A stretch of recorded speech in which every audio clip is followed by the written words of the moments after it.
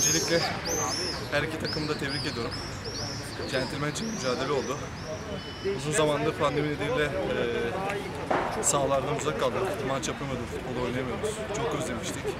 Ve e, yasakların kalkmasıyla beraber maçlara başladık.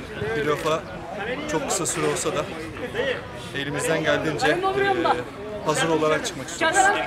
Perşembe günü oynayacağımız rakip kim olursa olsun çıkıp aslanlar gibi mücadele edip o maçı da kazanıp finale çıkacağız. Teşekkürler, iyi akşamlar.